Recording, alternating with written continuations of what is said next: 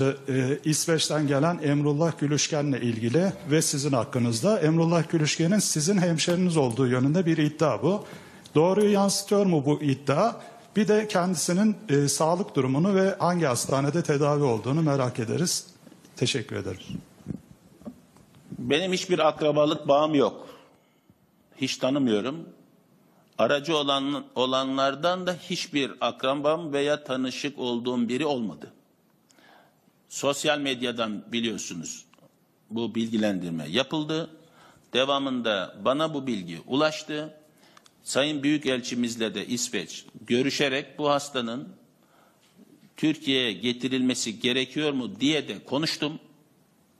Kendileri bu hastada hastanın özellikle Türkiye'de tedavi edilmesinin gerekli ve uygun olduğunu ifade ettiler ve devamında Türkiye'ye getirilmiş oldu.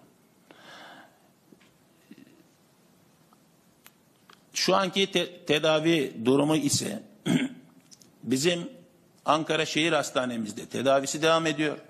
Bildiğiniz gibi iki gün yoğun bakımda kaldı. Bu hastanın getirilmesinde en büyük sebeplerden bir tanesi de ciddi bir solunum sıkıntı ol, sıkıntısı olmamasına rağmen altta bir kardiyak yani kalp rahatsızlığının olduğunun söylenmiş olmasıydı.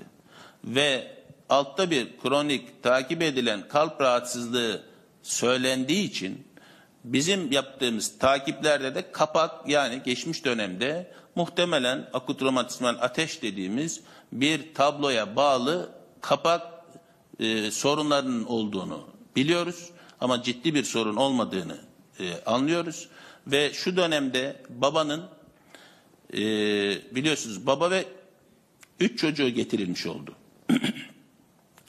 e, büyük kızında ve 10 yaşında olanda da pozitif görüldü.